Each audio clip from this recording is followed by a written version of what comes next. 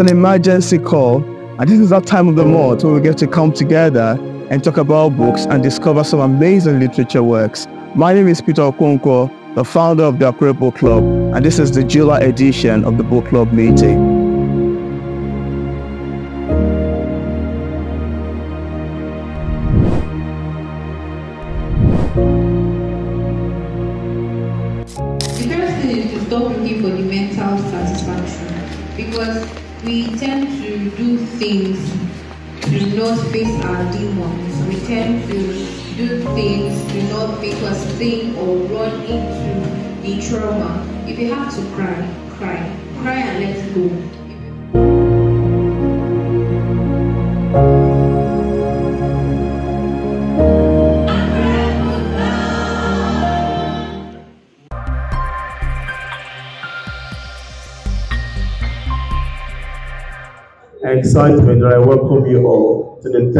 Of the Akure Book Club. Thank you, I love that. Today we come together not just as readers, but as a community of minds eager to explore, discuss, and celebrate the rich world of literature. Over the past editions, we have journeyed through the pages of great poetry, each offering us new perspective, inspiring thoughts, and enriching discussions. Our club has grown, not just in number, but in the depth of our conversations and the strength of our connections. It is heartwarming to see how literature continues to bridge gaps, foster understanding, and build a vibrant community here in Akure. As we begin the third edition, we are reminded of the transformative power of literature. It has the ability to ignite our imagination, challenge our beliefs, and inspire us to dream bigger and think deeper. Today, we celebrate not just the book we read, but the discussion they spark, the friendship they forge, and the growth they stimulate. I would like to take this moment to express my heartfelt gratitude to everyone who has contributed to the sources of the Akure Book Club, to our dedicated members who bring their unique insight and enthusiasm to each meeting, to our guest speakers and authors who share their expertise and passions with us, and to our organizing team whose hard work and commitment make each edition possible. Thank you. As we embark on this new edition, let us continue to embrace the joy of reading, the power of dialogues, and the beauty of shared experiences. Let us open our mind to new ideas, our heart to new stories, and our soul to the boundless possibility that literature offers. And once again, I want to say welcome everyone to the Akure Club. Thank you for coming. Yeah, before I go on, please, I'd us to do a short introduction. I'll be passing the mic around you, tell us your name, and yeah, I think that'll be fine, right? So I'd love to start with you. Okay, so my name is um, Rachel Alashi. Um, people call me Jenny. Oh, Jedi. Oh, sorry for saying that, you know. I know there's one Jetty. And It's also my pen I'm a writer, fiction writer. And yeah, Yeah, to add, Jetty is the first person to read The Secret Life of Baba Segi's wife. Please give us a round of applause. Right, hi, my name is Timothy. Uh, I'm neither a writer or a However, uh, I do love basically fiction. So yes, uh, I'll describe basically. yes, this is He's the second person to read the book. Yeah. Good evening. I think that's the I do like as my name is Iris. Um, I'm a writer. I just write um, because and I without That's amazing. Hi everyone.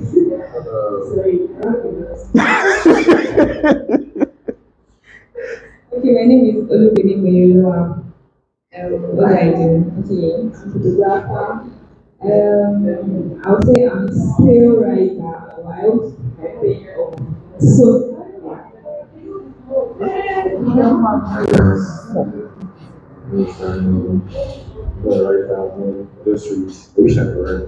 so.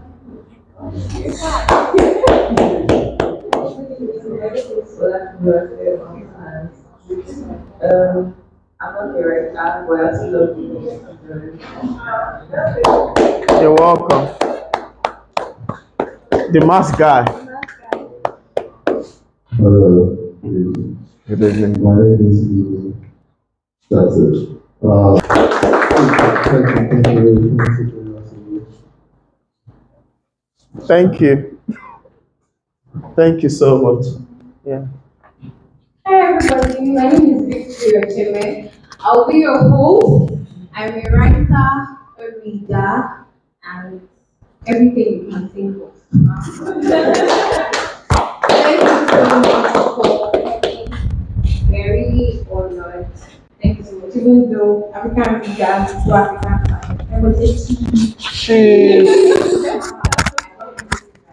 So thank you so much for coming. First off, how many of us read the book? Is it live or? Thank you so, so much. So who would love to give us a summary of those that read the book?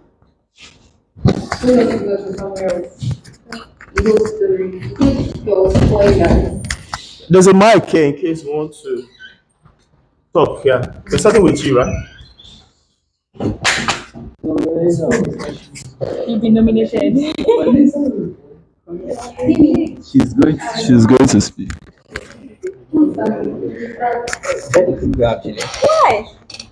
Okay, yeah, because you, you're a person. Okay, so I'm supposed to give you a summary.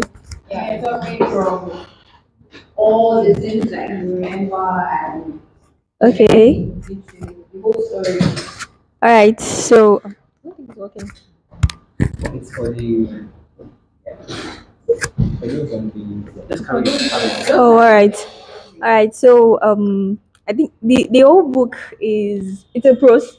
Yes, it's a prose, but it's more of a family drama, uh, a polygamy, polygamy family drama, and there is the head of the family. That's um Baba Segi himself, and then he has four wives, four. Big four, big four, and from the beginning of the book, I think they wrote in the POV of um, point of view, um, Bolanle's point of view, that was supposed to be the new wife, the latest wife in that house, and she seemed, I would say, she seemed like she was just desperate to just, you know, leave her current situation because the situation was not spoken about at first. So I feel like she was desperate to leave her her current situation and just you know she was ready to go anywhere.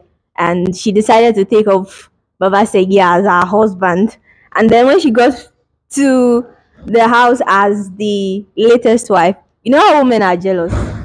The first wife the second the third wife um was not much of I think she was quite gentle. She was a docile person actually. But the first wife was I would say wicked in my own point. Wicked. The second wife was ah she was jealous too. She was a very jealous person. And well that was it. So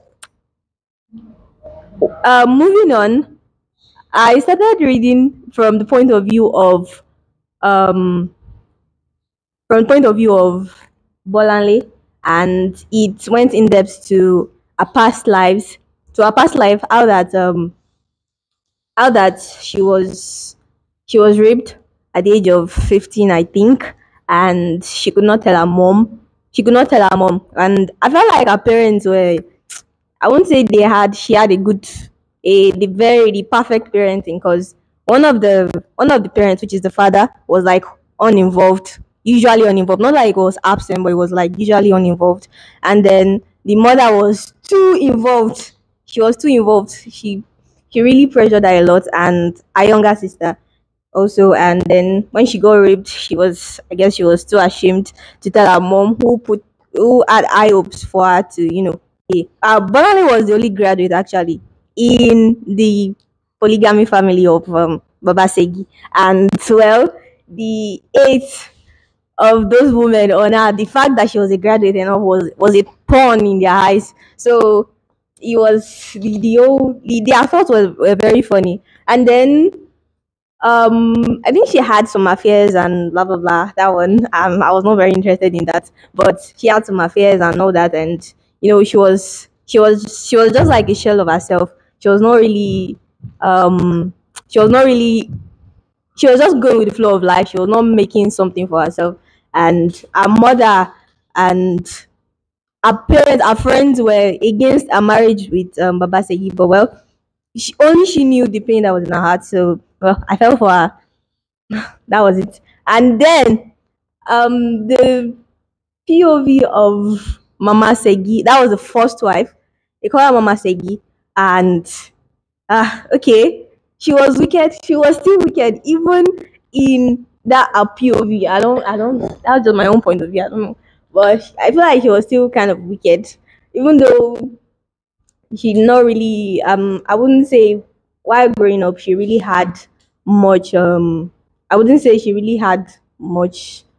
Um, she really had much her life because she said her mother was a businesswoman and apparently they forced it on her, and she had no plans to um to get married because her mother had this um this, this prejudice against men because they will not take care of you. Men will take care of you. Just find the right one.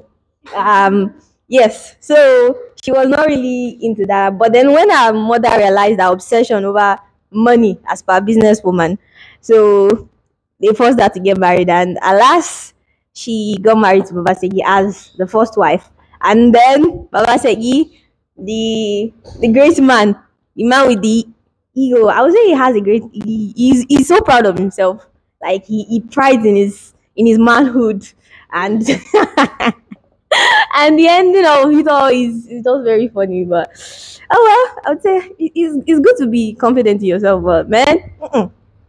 All right, that was a lot. that was a lot, really. So um, then we have um Iyafemi. That was the second wife of Baba Segi, and a background to ah was really pitiful. But then ah ah no, I wouldn't side with her though. He, um, her parents died, and our uncle and his wife they took over her family properties, and then they deceived her to go work in a place, and it turns out she would be the housemaid. She would be an housemaid, and then from then on, you know what happens? The the I say Klitsch, yeah, the son of the so-called employ employer started sleeping with her and all, and well, she thought she thought of him as an escape from suffering, and who knew? It was actually the beginning of it. But then, yes, that was a POV, and then Iyatope, Iyatope, I feel like Iyatope is she's a butterfly, a butterfly that was like you know caged because um looking at her background, she was she was just she was a very gentle person and very innocent at that when Baba Segi married her because um her father traded her for for um business purpose actually because her father was a farmer and he traded her for business purpose. That's all I can say. Uh, you read it when you read it. Um, and then she, she, all of a sudden, she got married. I understand that kind of feeling. You know, you just moved from your comfort zone, and all of a sudden, you're out there with someone or a stranger, in fact, because the, man was he's really something. And then, well, she got married, and also, oh, I think I was talking about Bolanle a bit. Yes. Then moving on, there was this thing. Actually, when I was reading the book, it went from um Iyafemi and okay. Alright. So um when I was reading the book, it it started from Iyafemi and um, Iyasegi. That was the first wife and the second wife. They um they colluded and they were talking about stuff like um Bolanle not giving birth and all. And I was thinking maybe it was like charm. They wanted to charm her. And I was like, okay, so these people, you know, as by Ibadan people, okay, maybe they want to use voodoo and I know. I was like, ah, okay. But then later I realized that wait, oh, this is not charm. This is was actually poison they were using on her. Like they wanted to use poison on her so that would she die or what? But then that was it. Then they, had secret plans, but I guess Yatope was not really into it. Yatope was not really into it, and you know she was, she was, she was more of this. She was the snitch. Yes, she looked like the snitch. Not like not that she actually snitched, but she looked like the snitch among the three wives colluding against the new wife. She looked like the snitch. So they removed that from the plan, and it was just Yafemi and um, Mama Segi. And then they started. Then the author started revealing, and it was funny. The fact that no, it was not even Mama Segi first. It was Yafemi first. Yafemi. Our children, in fact, all our children were not from um were not for Baba Segi. Was not Baba Segi was not the father of all our children. Oh, I think she had only one child. I'm not sure. Um Akin also. Yeah. They were not the father of our children. It was the um the son of our employ our employer when she was still a maid is the one who's the father of our children. Oh, I think she had two children and they were spoiled, like she spoils them as per, you know, yeah, yeah. Um, oh, yeah, the father, yeah, their father uh, is um is from a rich family, so she prided herself in that fact that oh, our children are not like the rest, so she spoiled them that their background are different from others, and well, that was it. And it was it was very funny because um Mama Segi was threatening Yatope that she, she would reveal her secrets, And then when the secrets will now come out again, Yatope's children were not for Baba Segi again. Ah, how is this? Wait, what's what's happening? So then, um, it then showed that it was Mama Segi that was pushing them. I was like, perhaps she was maybe she was deliberately doing it. That she wanted to push them to their destruction. That you know, one day the truth will come out and all the wives will be sent packing and she'll be the only one left. That was what I was thinking. So, um, Yatope's children were for one meat seller like that from the market and ah, okay. but then later, um, yes, later, Baba Segi had issues with Bolanle. Um, that was the last wife, the new wife, the last wife not about our um our childlessness because I think that's been about half a year since she got married to Baba Segi and she had nothing on her and then she wouldn't she wouldn't follow Baba Segi to herbalist to anybody to go and because she was like every all of them they are like scams and then she didn't want to go to um prophets or this prophet you know how you know how Nigerians are now so um, then there was this um, there was this character too. Um, they call him teacher. I mean master. I'm not sure. Teacher. Oh yeah, teacher. Thank you. Um, teacher. Then he gave the advice that since Bolanle is a graduate, of course she would do things in the modern way that she would want to go to an hospital. So he suggested, and Baba Segi took it. And I feel like Baba Segi also, apart from the fact that he prides himself in his manhood, is also he, he loves to belittle women generally. Like he, he loves women worshiping him. Like he wants to be worshipped as that the God, the yeah, the God, the God of the house. So um I, I, have, I feel like at every chance he always tries to belittle um he always tries to belittle his his wives, especially if they are going against him. And for Bolanle, she's I would say even for the fact that she willingly accepted to marry him, she was she was not as she was not as docile as she was when she got married. Because when she got married, Baba said saw her as oh, this woman, I conquered her. She's now mine and she's she's meek for me. But then turns out Bolanle was just hiding. Hiding uh, you know, inborn inborn I, I feel like it does happen. It's just the way she is though.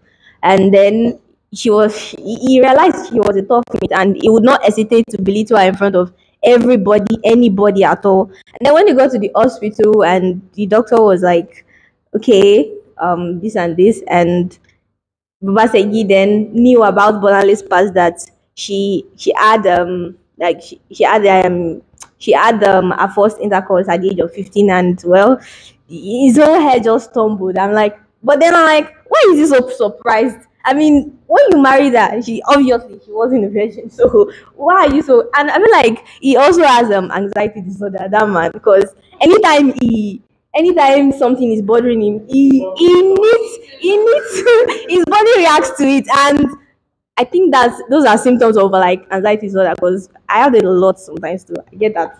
So he has to like he has to empty his body. So one way or the other, whether by vomiting or going to the toilet. So it was I mean, like that was what happened to him. So at that point, he had he just had to leave the place, and the doctor continued.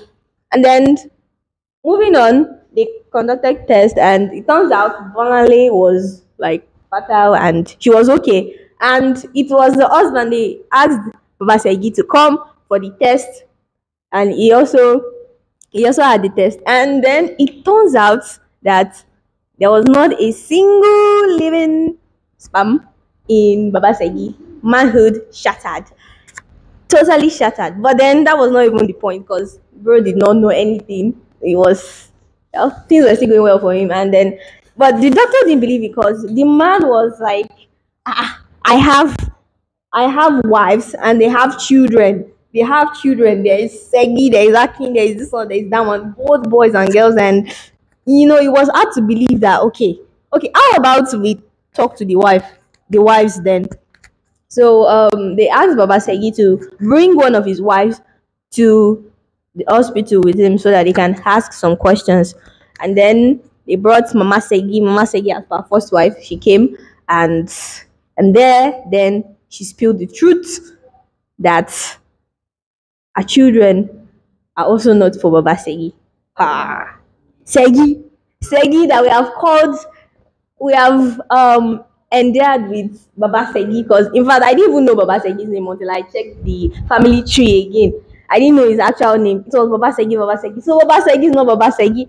Ah, okay. this is very serious. And then and then um the man just um it was okay baba segi was left there because he was shocked so shocked he could not move and it was just he was he was there then mama said he just stood up she was like well things has gotten to this point if it wants to spoil let it spoil then she went out and she got to the bus, um their driver the driver of baba segi and ah jesus the driver was actually the father of Mama Segi's children. Every one of them. It was it was it was so funny. Like because even the man the driver himself was so afraid when Baba Segi came out. He just he gave an excuse that he wants to go to his hometown. And, well, bro did not know. He said he wants to go to his hometown. And, well, I think that's how the driver left. So when he got to oh yeah i skipped the parts at that time at that time when um the whole issue with going to the hospital having tests. I think the first wife mama segi tried to poison um bolanle. I think they were having one occasion and she tried to poison bolanle. She put poison i think cobra poison or something inside bolanle's food. But then i think bolanle did not eat it. Gave it to segi. That was mama segi's first child. Gave it to Segi, and well, Segi ate it, and in the middle of the night, she was just, you know, she was just in another state, and she was in the hospital, and different things, different things, different things. Well, Segi knew that it was it was her mother that poisoned the food. She knew, she knew, and then she asked her mother, and you know, stuff because her mother, I mean, her mother is her mother, of course. So she believed that it would, to definitely be her mother since she was she was the one who served the food she was the one who cooked and served the food so definitely she was the one who put something inside that she knew what she did and well what could the mother do? And then by the time they came back yeah by the time the father came back from um what's it called? Oh Bolanle did not follow them when they were going to the hospital. So when Baba Segi came back Baba Segi called all his wives and he realized since he has realized that all none of none of his none of his children are his children actually he was just he was raising other men's children in his own house and he had so he had so much pride in his manhood. He boasted around the neighborhood and everyone to everyone who cared to listen that oh yes i have children i have this and that. I i'm the conqueror of the woman in my house. So well when he got home well segi was back from the hospital then but she was in a very terrible state. Well i think she was she was just let's say three inches to death actually because from the way the author described her and that was it. So when he got home he called the wives out. All of them were trembling because they knew well it's over for us. Our husband has now found out our secret the secret that we have kept for well years i think. Years. The secret we have kept for years our husband has found out what will he do to us. So they were trembling because they don't know where to go. And especially for Yafemi because our so-called us, uh, our so-called um, father of our children whom she she was banking on that in case anything happened she would escape with her children to the guy's place the guy traveled out because his employer died um his mother or grandmother i think sorry grandmother died and he just traveled out then. So he just all he left was a letter and yeah, was in a terrible state because how does she want to raise the children if Baba Segi tells them to pack out? And as for Yatope, she can't possibly go back to Mitela. In fact, that's even if the Mitela is still around that side, is still where he is, if she still knows his whereabouts. As for Mama Segi, what can she say? In fact, she dares not. Uh, in fact, till the end of the story, actually, Baba Segi did not know that his driver was actually the father of Mama Segi's children because I'm sure that man would have had an heart attack. That one is definite because ah, that has been following him for a long while, for years, in fact, even before for years. So, um, the the highlight is that Segi died. That spot, like in their living room, where because even Baba Segi just he did not have any strength, and Mama Segi was like, oh she has she has she has spoiled her own life because it was Bolanle she wanted to harm, and well, it turns out that child was the one who took it, and that's why you can say that well, bad things can always happen to bad people too. Not only good people, bad things happen to. Bad bad things. There's something called karma. So well, I feel bad for Segido because um from my, from the way she was described and the way uh, her siblings um, the way her siblings were very emotional when she died. I feel like she was she was the she was a very good sibling. Apart from the fact that she was hostile towards Bolanle, um, but that was her mother's directive. But then overall, she was a very good child, and it was so sad that she had to die. But well, she died and she died. Then, um, what else again? I think that was yes. Um, as for Baba Segi, well, the wives, since they had nowhere to go, they knew they had no other options. All they could do was, well, calm the tiger because even, and I feel like they took advantage of the fact that Baba Segi pride, he, he has so much pride in his manhood that he cannot even bear to tell outsiders that, oh, all the children in my house are not, they are not mine and I am unable to give children to, I'm unable to, um, to have my own child, to have my own child. So the wives, that was especially Mama Segi, since well, she knew him like the back of her hand, so she played, she played him, and she was like outside that she don't know what's going on in the house that she pleads that it doesn't matter whether they are related by blood or not that those children they will always be his children. We'll always be his children? I don't know. Well but then that he has taken care of them for a long while and they should just continue um they should just continue the way everything is that they should not or else um they will be disgraced and um, ashamed outside and especially for Baba saying himself. And well what can man do? Man cannot give birth. Man cannot have children even in the nearest future. So man must agree. And man agreed. So Baba Segi well he agreed and he let them stay in his house and living as a family. As for Bolanle, well, it's a good thing for her that Baba Segi could not. So she she left. Um, she had to leave because since Baba Segi could not give her a child, I mean, someone that is fertile, obviously she cannot stay in the house and then be too timing again. So she just said she'll leave, and then she left. She left. Um, Bolanle, um, our, our our relationship with our parents were were not very good, and even our even our younger sister, because our younger sister also felt that well, um, because Bolanle could not fulfill the dreams of her mom, then the mom put all the pressure on her, and then but, en- but anyways, she went another way too. But well, they all reconciled one way or the other, and well, that was it. So the secret lives of um the secret lives of the wives of Papa Segi. Ah, it was it was drama on drama, and the end, the that plot twist at the end of the driver and Mama Segi was it was very shocking to me to be honest. It was very shocking. Like ah, oh dear, Shesita, you did it close. Ah, it was it was very funny, but ah, it was a nice book. I enjoyed it. It was thrilling, and I would say well, the author did a good job. Uh, yes, that's it. Thank you. Yeah. Thank you. So right now, who else loves to give a review on the book? What was your favorite part, and what was something you absolutely criticize? Lola would love to hear from you. What's that thing you read in the book and you were like, what kind of author is this? To you, ma'am. Let's start with the guy. Oh, over. I identify as a woman. Then, it's fine. Don't give me. yes. You don't do that okay.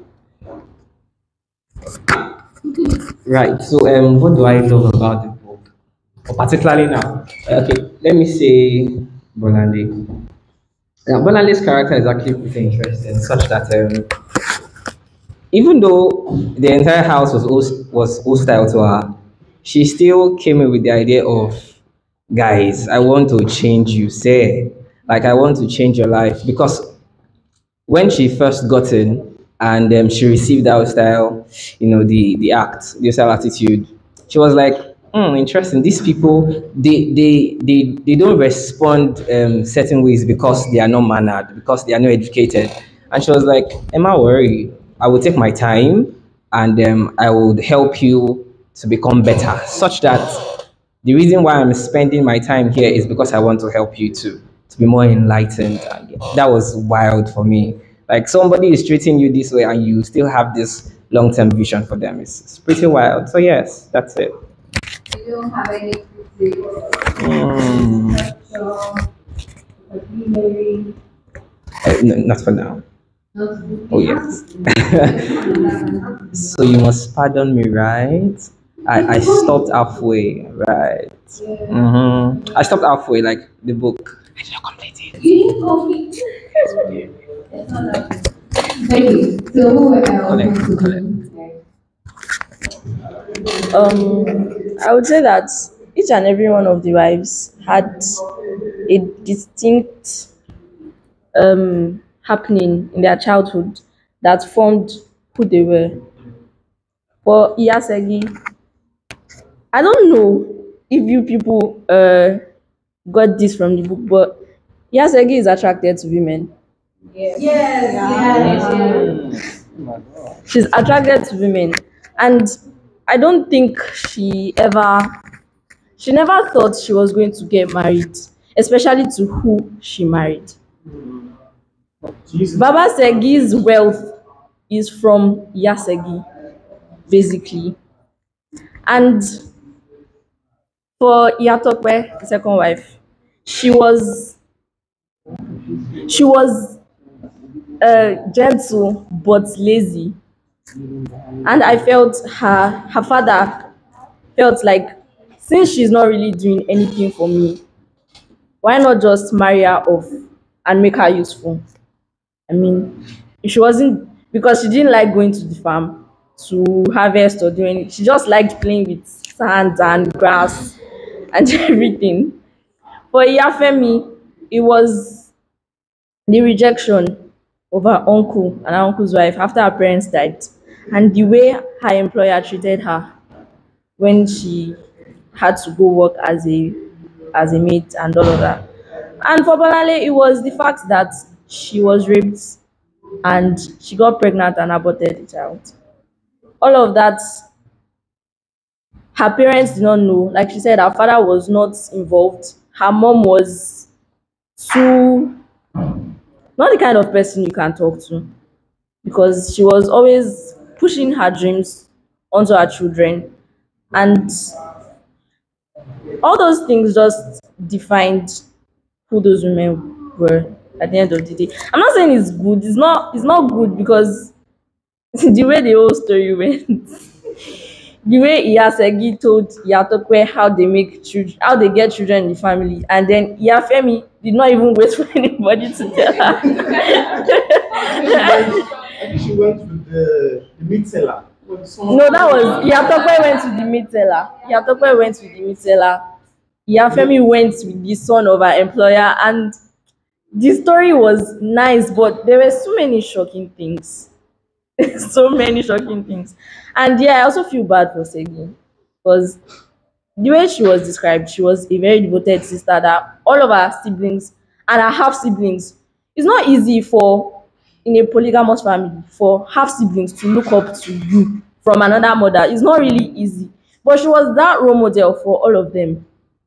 And it actually pained me when she died. but do I have any critics? Mm, I would say that there was just so many things going on in the book. Before we got over shock of something, there was something else that was equally shocking. But the book was a very nice book, all in all. Ah, okay. Uh, I love the fact that uh, the book was written in different characters' point of view. in uh, in chapter one or chapter two, you have this one telling the story. And you move to the next one, you have another person telling the story, and on and on and on. It keep going in a beautiful way. Um, Bonale, uh, yeah, Bonale is my most favorite character, I'd say. And all of them actually had a terrible past. All of the wives had a terrible past. And Baba Shagi is such. Baba I, I think Baba to me is like a pitiful character. I felt so sorry for him. I mean, you know, with the boast, with the arrogance, the pride, you know, the fact that you've spoken to your friends, I do this, I do that, and the way the, the wife described him secretly, like it's a bag of stuff like that. You just the wedding is just so I'm like, oh my god, that's too bad.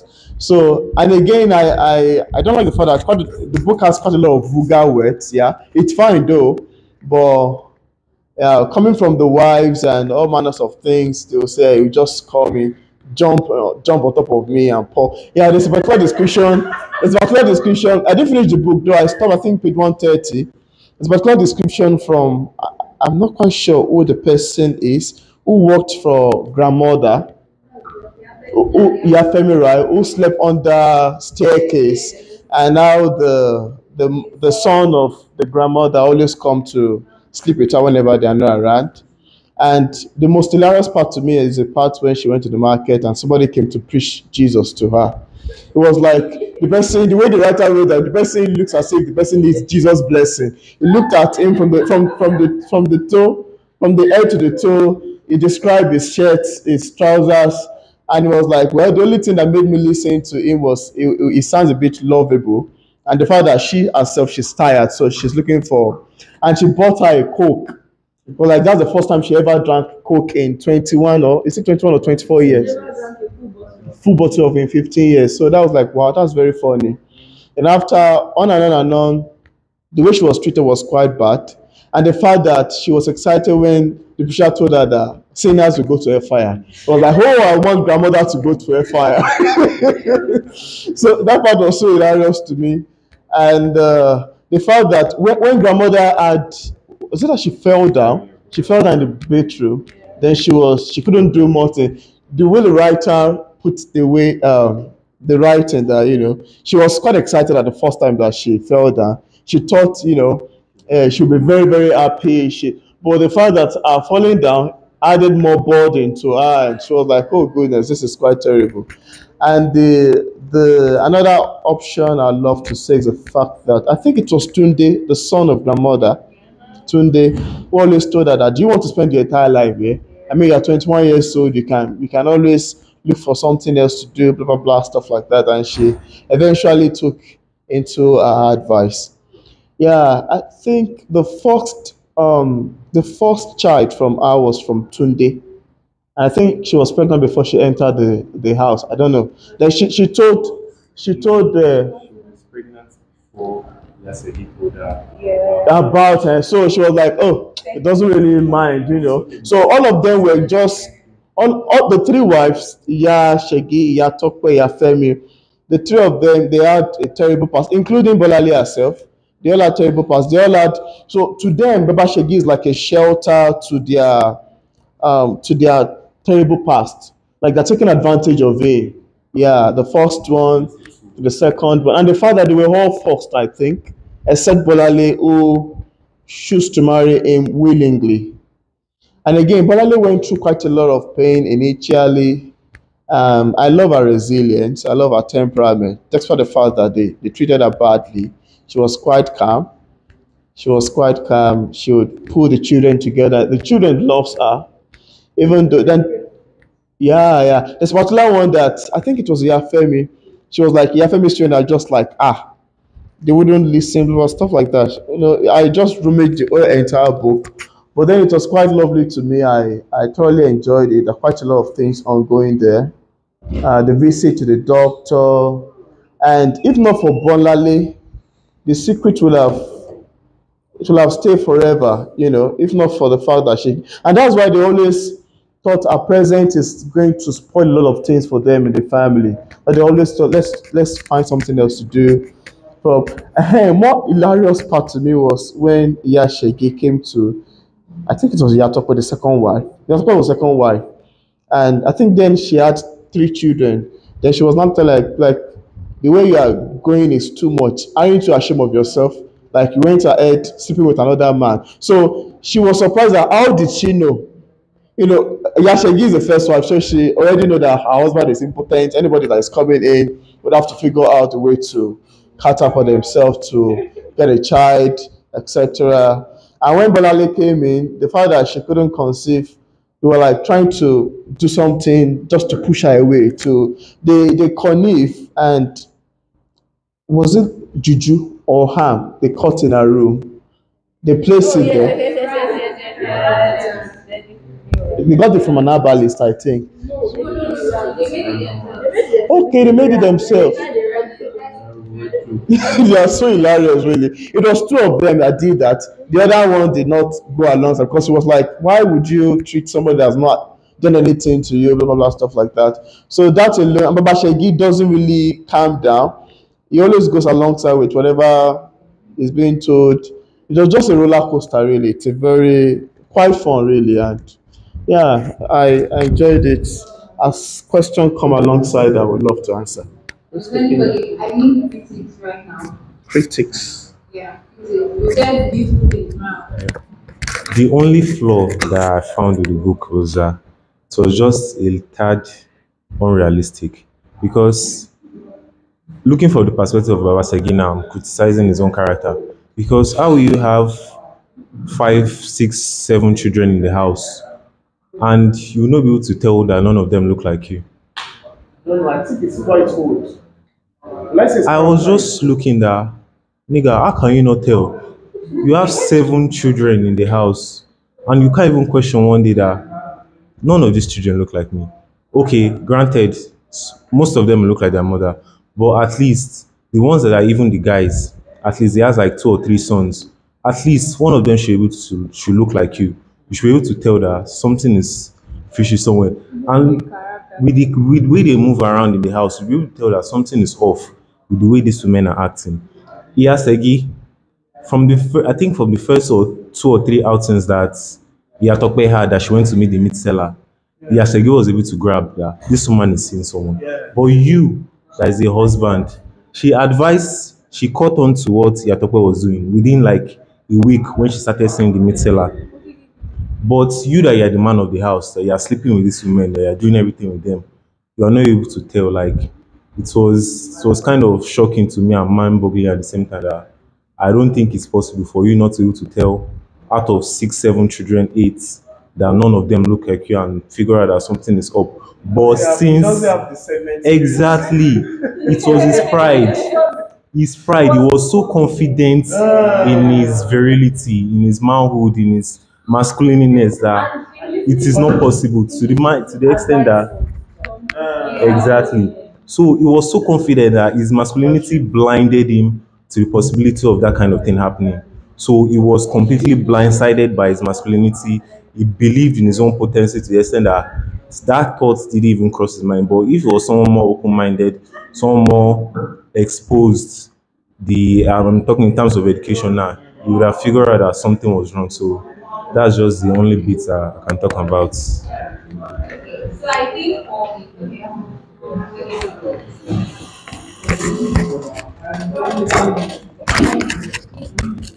so um, interestingly, I would not really call it a flaw, you know. Uh, cool, right? However, um, this part I like to say, you know, Bonali's mom, she during her pregnancy or during you know, the author wrote something about how that um, Bonali's mom um, grinds pepper during her periods and um, you know she consumes it a lot. However, over time, then she finds that uh, she has lost a child, like blood. What do you call that thing? Please, yes, miscarriage. And um, two lines or um, three lines after, we hear that um, Bonlali, Bonlali also is not a ah, how did she put it? Oh, that Bonlali, but oh my god, that Bonlali, what's her name again? Bonlali, she she just she dislikes her mom for that. Now it took us a while to understand why that was actually happening, and it was until we got to the fact that she was actually raped. That was like maybe two chapters away. So it was a, a big distance. So yeah, that's a flaw for me. It would have been best if we understood almost like say five sentences away instead of having to wait for a long time to know why she hated um, um, Pepe and why she not want to actually give birth and why she wanted to leave the house particularly. So yeah, yes, you want to go. Alright, so I, I don't know if um, the book is going to be a general book that children or teens are supposed to read, but I don't recommend the book for children under 20 to, to be very, I feel like a teen is mostly to read, except the ones that are already exploring news and books.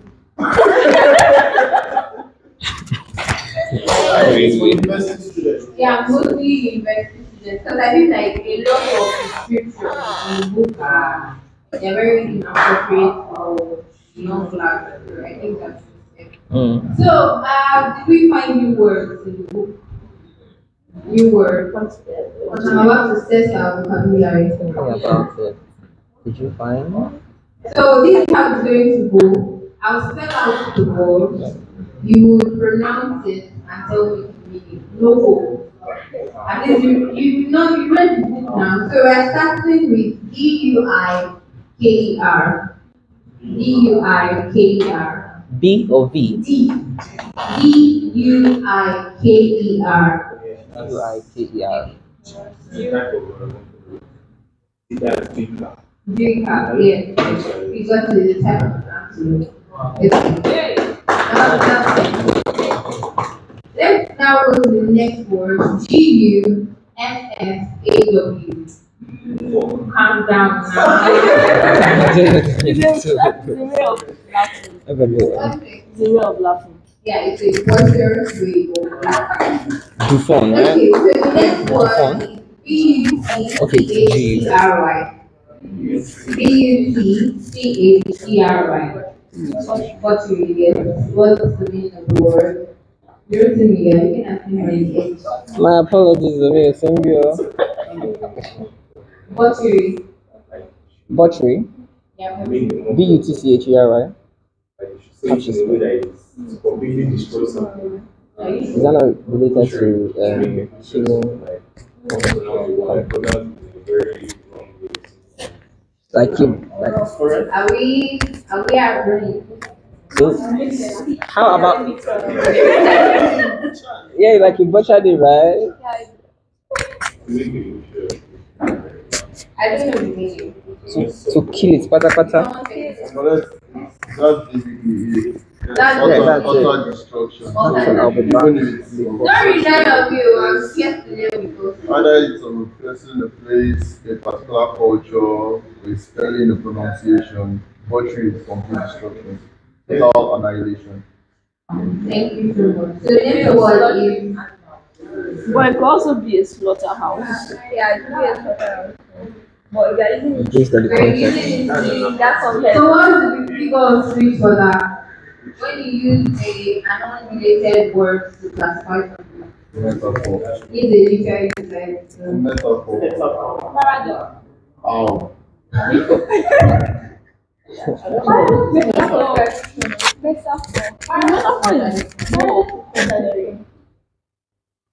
Metaphor, things of the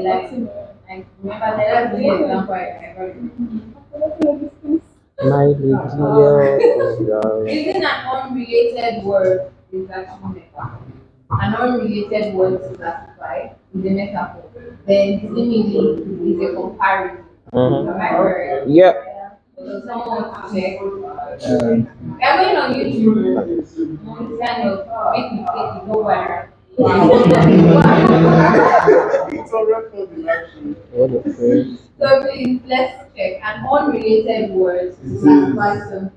That's what it is. Yeah, That's, that's what it is. it is. Yes, the direct uh, comparison is metaphor. I'm using as like.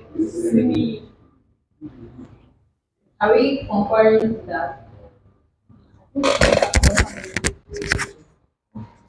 to that? Oh, he's trying to cock up. Are we comparing?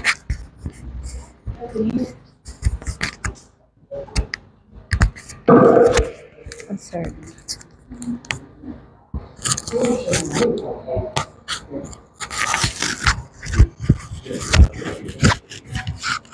No, not the meaning. Like, just type using an unrelated word to classify something is called what? Fail. Eh? Yeah, lion?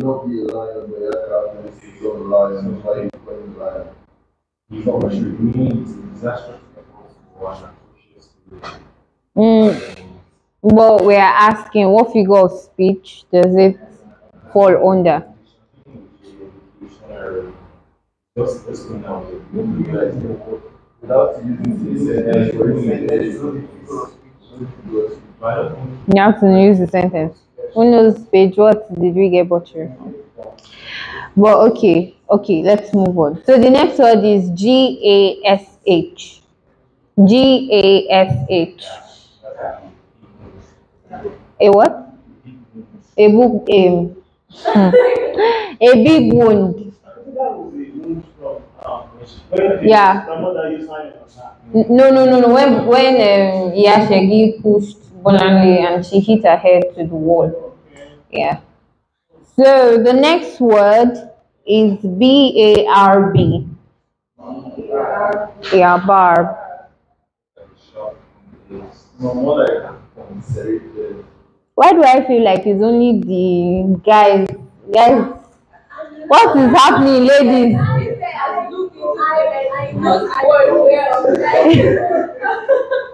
Okay, so okay, let's do something simpler. G O B L E T. Don't say anything.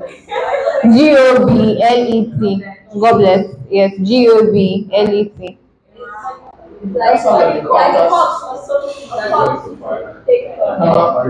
It's like a chalice. It's like a chalice. It's a kind of cup. Okay, so let's go to um, U N C A C H E D. Don't say anything. U N S C A T H. U N S C A T H E D.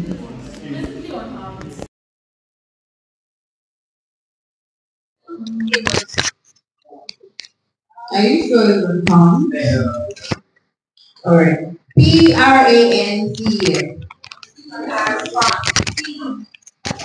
P R A N C S.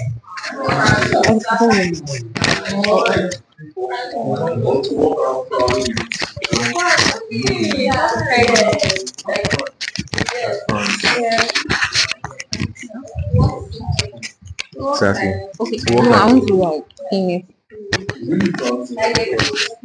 like how do you say it in Yoruba? Uh, you know, for the Hello.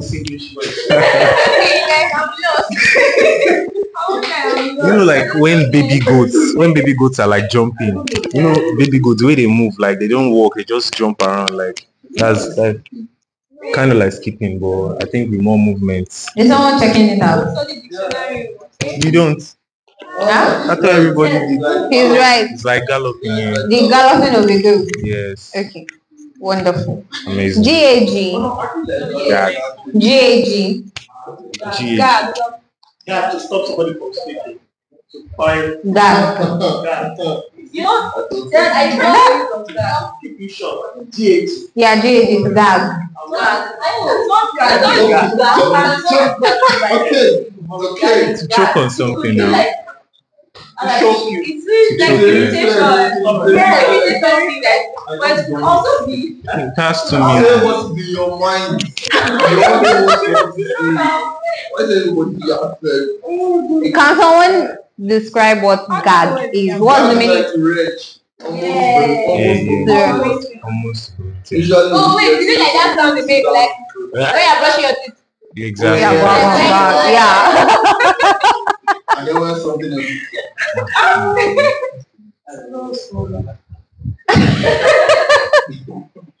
Okay, so uh, let's do two more. Have we done scrawny? S C R A W N Y. Okay, S C R A W N Y. Looks very thin. Yeah, that's right. Okay, let's do G R A C U I C O U S. Right. G R A C U I C O U S. Gratuitous. Gratuitous. What does Yeah. mean? Like you are kind of compensating someone for something. Yeah. with it. Gratuity. Yeah. That's good. Okay, C Y is not. Without, Are you sure? Without yeah, reason. without, But it's usually out of out guilty of conscience. Exactly. Just, off Just want to your be own really, will. really, Yeah. Really Okay.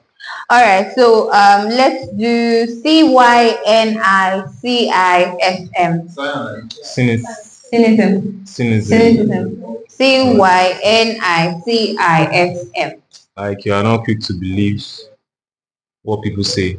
Are you are cynical. Cynical. This boy When you're cynical, but the actual meaning of the Uh, word. you're not, you're not quick to believe what people say. You're always looking for faults. You're always looking for the whether the story is true or not. Something like Are we that. agreeing to that? Like Yeah, that. what is the same thing? Skeptic. Yeah, when you're skeptical. Okay, so this one, C H R O E S. C H R O E S. Pros. Like when you are feeling pain and you're kind of like reacting to the pain, like if someone hits you or someone is convulsing, the movement Yeah, of that true. person. C C H R O E S. Yes. throws. It's usually the movement someone makes when the person is in pain. Yeah. Okay, so true. Okay, it's a thing, suffering. I said, I said I wish I could, but I can't. You can't, I can't. I can't. I actually can't. I've tried. I've tried. Why you go say you don't I've tried. I, I've tried. I just can't. Okay, okay. So let's do P O N I A R D. P P O N I A R D. P O N R N P O N I A R D. no idea. What did I tell you that it is not pronounced like that? No idea. But that's zero to He's No idea. how is it pronounce? it's I've a- no- I've it's no- actually down, So Google has found that. So who is bailing us out? I don't know what it It's what means. that, Pony. Is a dagger. So who remembered when someone used a poniard in the book? Let me find it. Someone held a knife to prevent something. It was like a, I think it was the Femi. Yeah, when she was in grandma's house, I think she was planning something then. Then she decided to use it as a protective means. She was plotting to do something, but she didn't do it eventually. You really remember now where we picked the word from. All right. So the last one, actually, there are more, but we don't have time. A K I M B O. Kimbo. Akimbo. As how? Is that what it's pronounced as? Yeah. Akimbo. Yes. Wait, is it really an English word? Yeah. It is an English word. Alright. So this is your cue to search the words in the book. Don't just read and assume a meaning in your head, please. Let's read words. These are these are these words you would have seen them before, but because we don't use it every day. How many times have you addressed someone? Oh, you're studying Akimbo and I really like it. Aha. It sounds so weird. Exactly. But let's try to, as you read more and you come across these words more and you apply their meanings, it will stick with your um, vocabulary. So yes, time for open discussion. We talked about the book. Time for open discussion. The first question is, what do you think is the leading cause of divorce, increased divorce rate in Nigeria? Anyone who's speaking can pass the mic. What is the leading cause? What do you think is just the leading cause of the increased divorce rate in Nigeria? Ini, the masked guy. Okay, after her. Rotimi, you just went, you just did, no, boss.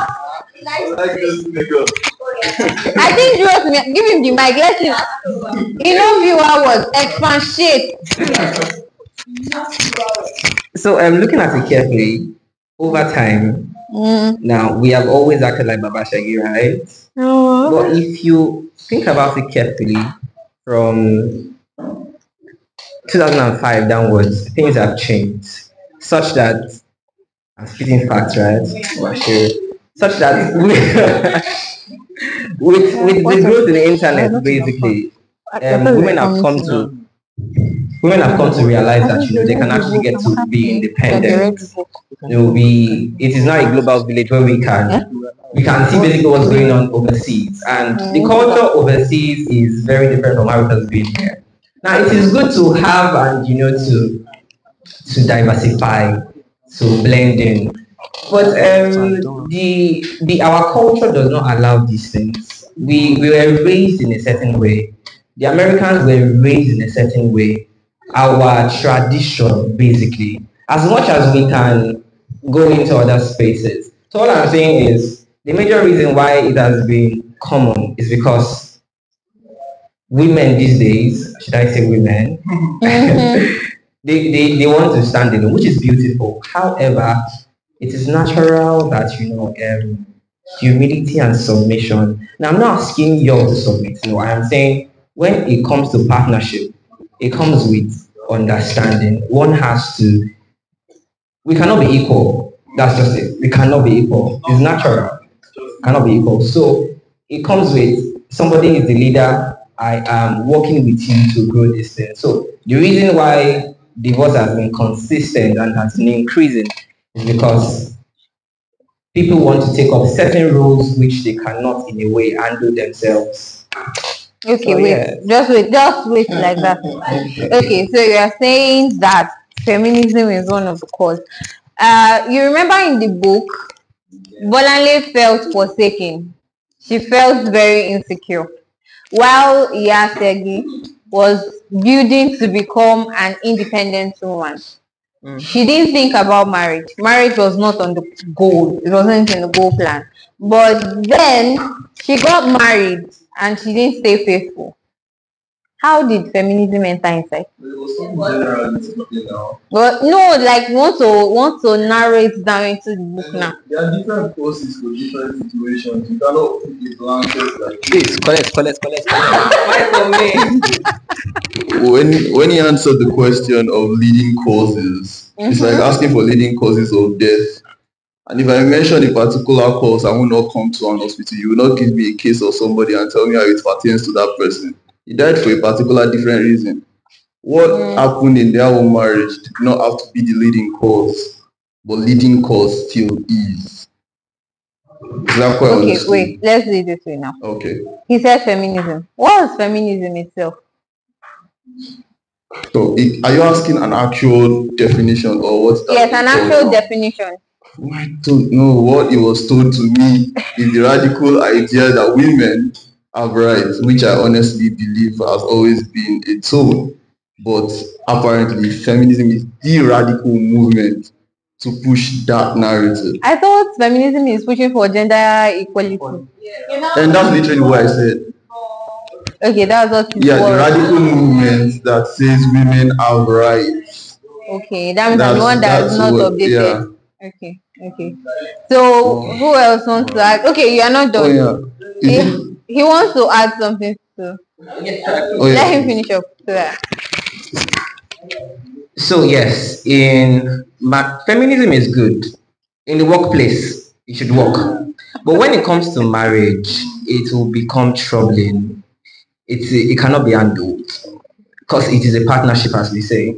And yes, that's it. Okay. Okay, okay, Daddy. Who next? Don't mind me, sorry. I kind of felt like the air around there changed when he mentioned feminism as an issue in marriage. Right? Every no, I'm just saying. What he did not say was that feminism was bad. What he did not say was that feminism was, I don't know, the issue in the world. What he said was it was a leading cause in a certain thing. Mm-hmm. Many feminists don't even like the idea of marriage. So very well so what he said pans in, right? Mm-hmm. it was never supposed to be, you know, a bad thing. It's just saying this leads to that. It doesn't. It didn't have to raise any.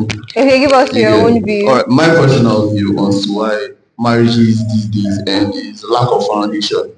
You cannot stand and build anything on something that you had no reason why you started in the first place. It's the same reason why education is crumbling. Nobody knows why the fuck they are in school. We we don't know. I spent seven years in Futa doing absolutely nothing.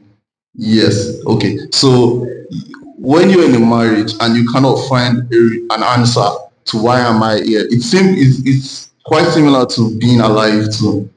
That's why everyone seeks purpose. If you cannot find an answer to why am I alive, what am I doing here, you most likely take the next option to off.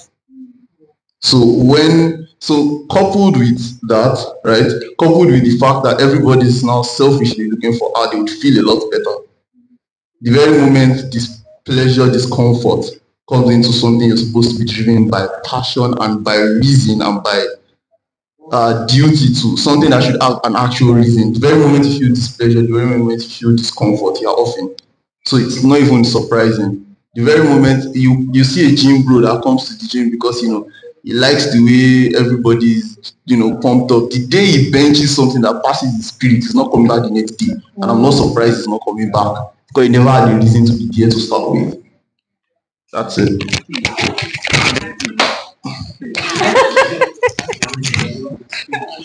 Okay. In my own opinion, I feel like the divorce rate has increased because unlike during the time of Baba Segi and his wives, where they feel like marriage is like like Iyafemi now, marriage was freedom for her. And Bolanle marriage was a means of escaping a dark past. But now, women these days, I think there's this realization that you can be more without being married. Not in the sense that marriage is not good. Of course, marriage is good. But then, men these days too. Baba Segi had three, four wives and children, and he still showed out all the responsibilities. But you are seeing men now that will be saying 50 50, 70 30. Men don't want to be men don't want tra- they don't want to be traditional men anymore, but they want a traditional woman. And I just feel like it cannot go.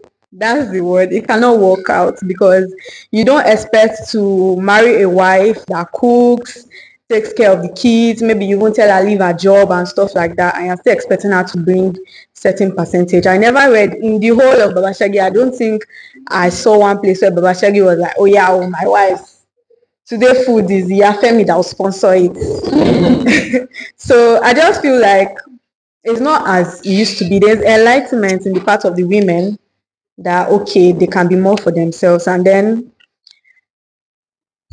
well, the men these days.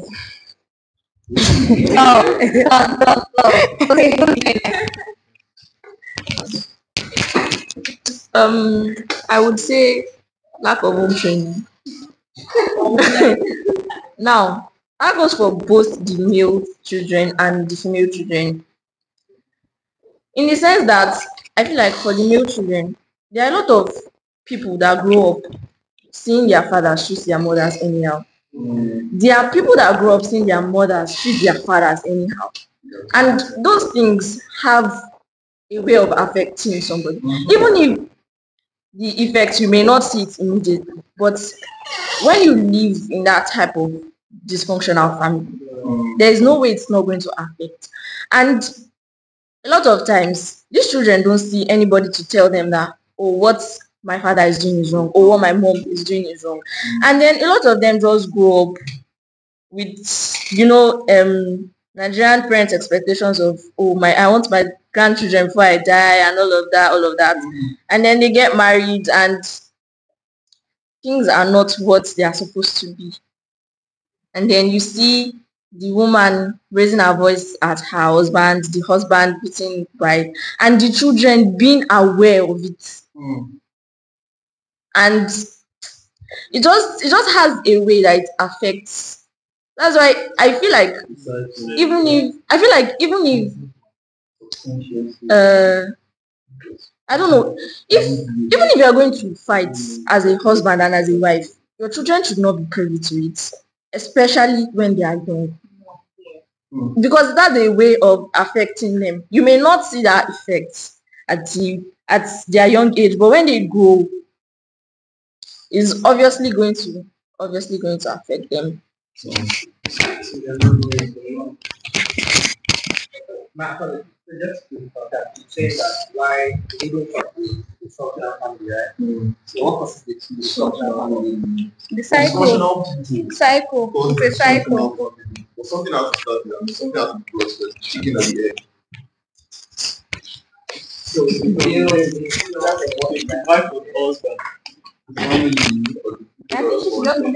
Think causes. terrible people get married to good people, terrible people form terrible families. I don't then I don't know how they don't. I, I don't know how they don't discover terrible people doing their dating stuff. I'm like, how do you get married to somebody like this? Do you hide? Do you hide your future all those years you guys were together? And I was, with bad character. It's not none of You lie to yourself, it's, Most people lie to themselves and then once they go far, they try to find the mental satisfaction in it and just cope. but lie to yourself and just manage yourself. So because I will say that what causes um, a living causes right? Yeah. Okay. I also feel that um I agree with what Ini said that lack of foundation, number one. Yeah. A lot of people go into relationships without even knowing what relationship is about. A lot of people are in relationship and they really don't know what marriage entails. I'm not married, but it's very obvious. At least I can say, okay, some people I see around, I'm like, okay, what's even, what really are you doing in this relationship? It's just literally like it's just cruise and inshallah. You are not talking, you're not talking future. You are not even up to how many children are we going to have? You don't have that discussion. It's just, hello babe, hi, what's up? Have you eaten? Have you slept? Where did you go? How did your day go? Like it's just that cycle. And okay, we go on a date. We come back again, we take pictures, we post, we do date anniversary, or what they call it. We do it again and it's just literal and boom, let's just see what happens. We get married. And we are now there and the reality dawns on us and we're like, how didn't I see all this? Where how, all of a sudden it just became, it didn't just become, she didn't just become. You didn't talk. You didn't ask yourself real questions. You didn't. No, sincerely, like you don't. You didn't ask yourself real questions because by the time you get there, you now realize, "Wait, okay, really, what were we doing? If we had spoken about this, I don't think I should just get into marriage. And my husband just tells me I want seven children when we get married. When we were dating, why did we? Why? What stopped us from coming into that conclusion? We saw marriage in view. It's our future. Okay, if I always came with the mentality of ah me, I want to have ten children. You, you are right from time. You want to have two. In our dating, we will have maybe fought, gone back and forth, and we'll have come to a conclusion. Okay, pata pata, four. We will have come to a conclusion. I don't know if you get. It is not. It is not in marriage that some of those decisions are supposed to be made. So that's really what caused a lot of stress, a lot of mental disturb, emotional imbalances. I, I can't just deal with you. I can't just. You want me to have more children. I just want three. I mean, I've always wanted eight. Ah, mo ṣe ń gbọ́. Oh, like, you're just hearing. Sometimes when we ask our parents, they're like, I never, you, I never knew your dad was like that. Okay, I come from a, my parents are splitted, so along the line, I was like, mom, like some of these things that like you didn't see. I really have to ask, like, ah, why would that just be so? My dad is the kind of person. I just want to share my personal, but that's the kind of person that once you do something like, Daddy can repeat, like it keeps talking about that thing after you've apologized, it will over and over and over. I'm like, Daddy, stop this. Like, I'm like, mommy, like, aren't you when you guys dated, you didn't offend him once, like to see that this thing was already a nature. Like, okay, guy, let's address this, or we call it quits. Now you now have to get to the point that it's now reflex for him. And we talk and talk and so that I'm like, Daddy, you didn't take sand and create us. Calm down. Like you didn't give you didn't give me this bread. Like calm down. Talk to me. Like let's talk. I offended you, fine, but you now repeating it and saying more hurtful words over and over and over. It really can. The issue might be different, and I like it ends up doing more harm than good. So like some of all these things that are little, you have someone that you can't offend them. Unforgiveness. Mm. Unforgiveness. You now get to the marriage, you now turn to someone that you just do something, the wife just para. One week, two weeks, she doesn't say pimp. She cooks your food, that's all. You just eat and that's all. You're even you are even afraid that she can even poison. When you were dating, it should have one of those things would have come up. And also in dating, like they always tell us that when you're in a relationship, that love, the butterfly in your belly and everything. I think it's something that maybe for anybody in a relationship or those that are yet to be in a relationship, we have to be very much conscious when we are in that stage. Because the butterfly in the belly will be there. Like that's the time whereby even when you are seeing the red signals, they become the green signals. Because like you're just full of the emotion you get. And a lot of times, most of those red flags, they show in that time. So I think it's something we have to be very extra conscious of when we're in that butterfly in the belly stage. And we should not take anything for granted. You are talking, we're having a normal conversation. She shouts at you. He shouts at you. Okay, we calm down. Babe, what happened? What triggered that? If we have to treat it, if, you have to tell the story of the kind of house you came from, I will know that I'm not attacking you. I'm attacking your background. It is discussion. Like it has, we have to be very, very, very open with ourselves. We have to be very, very, very open with ourselves. Babe, what happened? I just said something and you sparked up. What happened? You really have to run me through your day. I can't say I want to be your wife and I should just be like, you are sorry, you're sorry, and. No, explain. Why did you do that? Babe, explain to me. Why did you have to shout at me? Why did you have to flare up? Why did you treat that woman like that?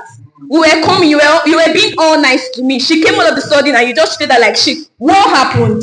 What did she do? Let's ask ourselves questions. It's not just about cruise and inshallah. Like it is dating stage that we should open everything up. Like everything up. Nothing should be like nothing should be waived off. Nothing because I'm going to okay. I'm giving myself a maximum of maybe age thirty. I always say that okay.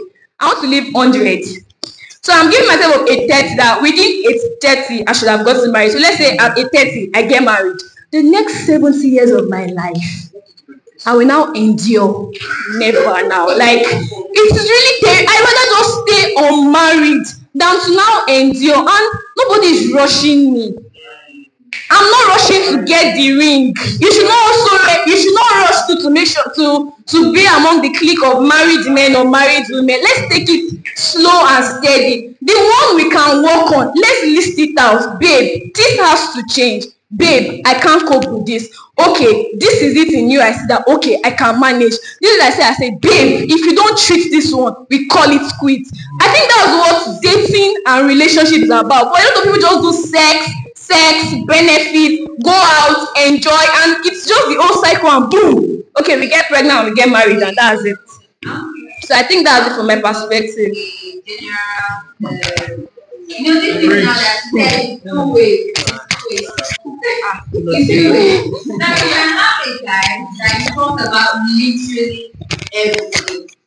Everything. You know your future, you even what you read, you even know not to his parents, um, you know his you not well with Like you literally know him in out. So that means we are establishing the fact that you also understand his red flag. One of the things that is also part for me, and one of those that, uh, you know, you not see relationship where they said, just said I'm a husband. I saw you coming down. were coming down. Said you are black, so this, that, when I met you, I give peace and contentment according to Psalm 45 You are the king's daughter. And then they get married. Marriage committee watch them get married. so I give you two scenarios. Isn't that part of it? Yeah. Sorry that I won't take the mic again. That second one go on that you spoke about. I always say something. Okay. Now I want to bring from Christian perspective. I'm a Christian, so you just come to me, hey, um, okay, some of them are not even bold, so let me go let me go the Christian way, the church brothers way. Hey, sister, Moi, I was praying and um, the Holy Spirit, the Holy Spirit spoke to me and said, You are my wife. Ah, Okay, you come, you tell me like that. So I think maybe we can. She told you no after three days. Guess what he said? He said that the Holy Spirit tonight is not enough. Yeah, it's not enough. The Holy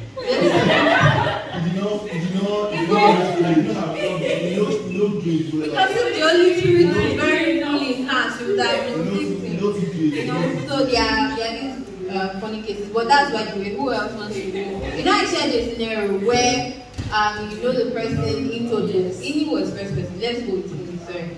So you know the person introduced. Okay, ladies first. Thanks for the courtesy.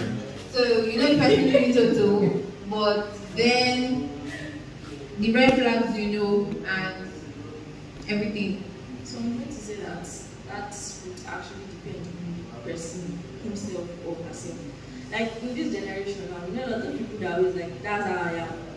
That's why I am. I cannot change. That's just how I am. No, please. Nobody is just like that. Everybody is formed by the situations they've gone through, one way or the other.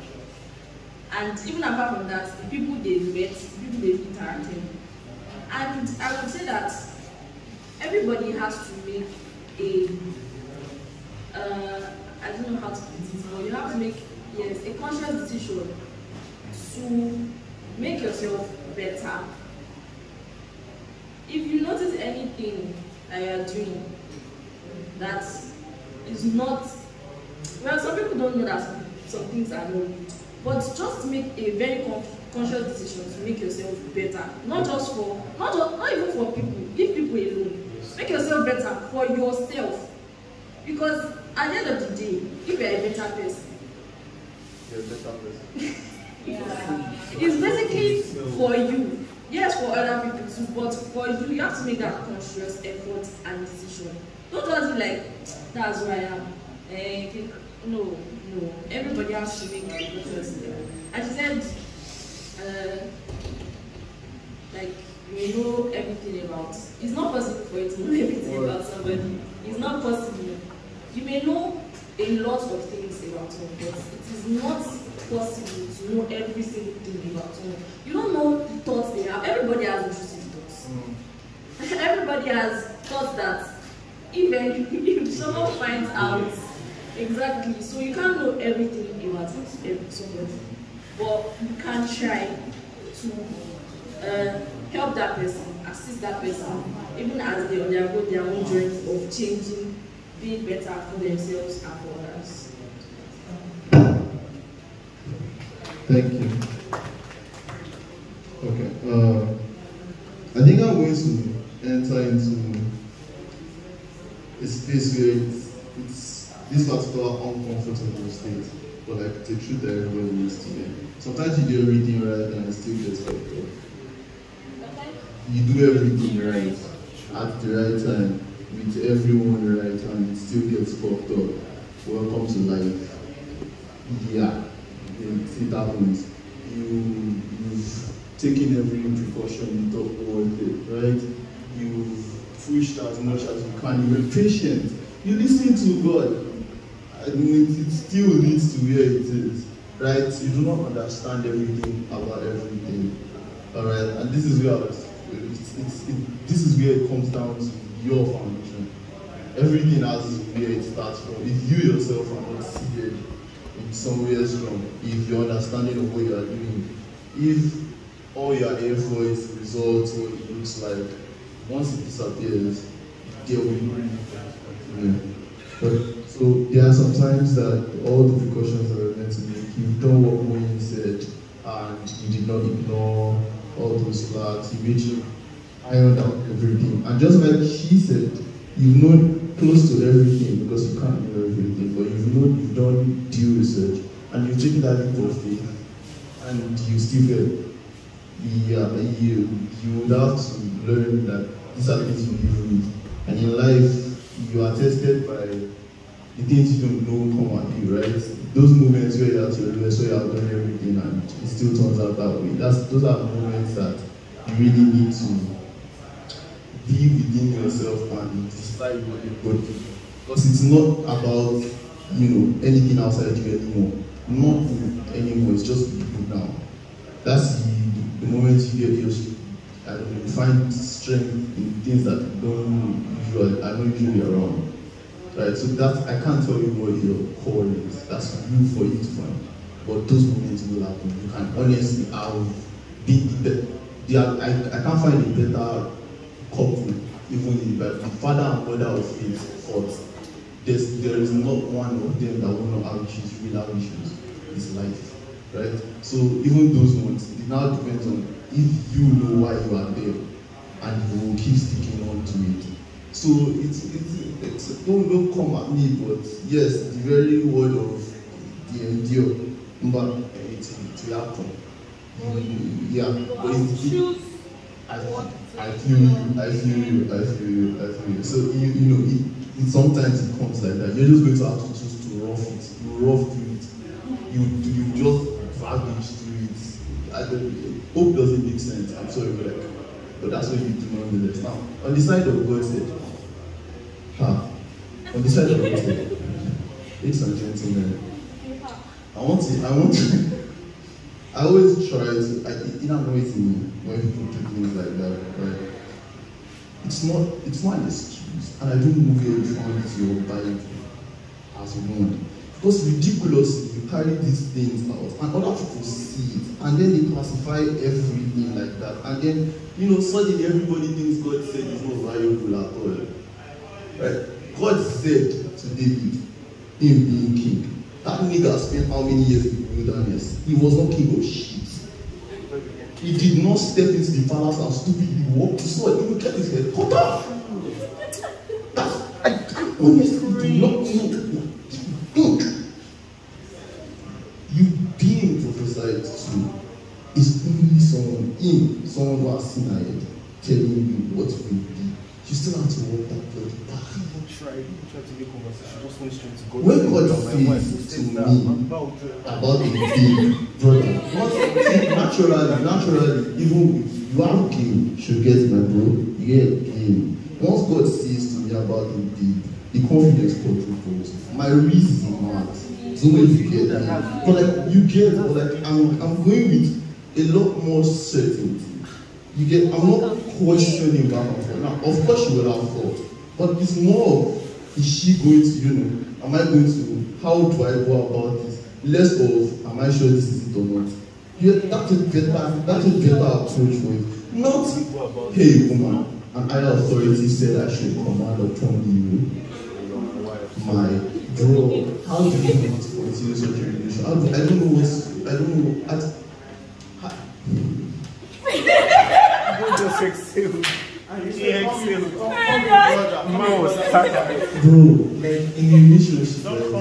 that. So when, when you want when you want to get out to the room, you know, it's, it's cold in the night. With the Lord, you know now, you know. You. You know that in the church society, Yeah. and I believe it's not just church, I'm not a Muslim. I don't, is there anybody that's a Muslim here? Yeah. Okay, okay. So I don't know if it's also done that they, the first thing they tell you, you know, we are advised in church personally that after, when you are about getting married, you pray ahead. Yeah. Then when you pray ahead, try to pray to know the person. Why is everybody looking surprised? They don't say Because you based on your conversation. That's what you pray about. You don't get to the blessing through prayer. Exactly. You know, this advice, I'm serious. They are, They they, are, that. they advise like that. They tell them that pray to, pray to know the person. So usually they get the word that okay, oh, when this person come, this have you know, have you not seen their story on Instagram? Yeah, they'll be like, uh, when I when he came, I went to the Bible, I received peace. It was exactly what God had told me earlier. Then, so wait, wait, wait, wait. They don't encourage you to know the person as a friend because if it is like the natural society, Yeah. we advise that let it be a friend before it graduates. So when you are a friend, you would have known the person, like you will know the person head to toe. You might not know all because when you fall in love, some things will graduate. But we always advise, you know, the church is against dating. And that is because Which church? Let's not mention, let's be alive, we are alive, let's not mention. But there are churches that don't advise. I remember um, when I was growing up in my own church, usually when you're about to maybe marry someone, especially if it is a sister in the church, you first go to the pastor. The pastor will now call this. Thank you. So it's Yeah. it is like you are you are from the morning time. Oh, no, you go to I'm, I'm, I'm an Don't just leave the Oh, okay, alright. So the sister will go to meet the brother. Yeah. Then when the sister meets the brother, oh sorry, Pastor. she will meet the pastor. Yeah. Then the pastor will now talk to the sister and say, okay, oh, this brother is like this. So then they will ask both of them to go and pray. Now when both of them pray and then they feel like God has answered the prayer that this is mine, she is mine, is mine. Then the pastor mediates terms. You you've not heard of people that tell you that they I still watch the video today where the marriage committee said she has to book in church before they can Sorry, sorry, can I, can I, can I call this? Can I, can I kind of like pull the curtain on this for this? So I'm not here, again, I am not here to step on any culture. I believe all cultures are experienced based on everyone has tried something. I believe our ancestors sat down with their own sense and saw what they saw worked and turned it into tradition. Nobody will make tradition or something that has over time not work. That is not sensible. That is not how human beings. Right? So I am not stepping on any culture. Most of our parents or ancestors were arranged, yet many of them found love in that same relationship. It's not, it's not, see, we, what I said to you is not what you are asking about. However, it is that they came about or they met, right? Again, I just told you that David was imposed on Israel as the king, was not? But this man still walked his way into their heart, did he not? Isaac found his wife by, is it Elimelech? Eliezer, was it? No. Yeah, yeah, by uh, Abraham's servant. That was literally the spirit of God leading, was he not?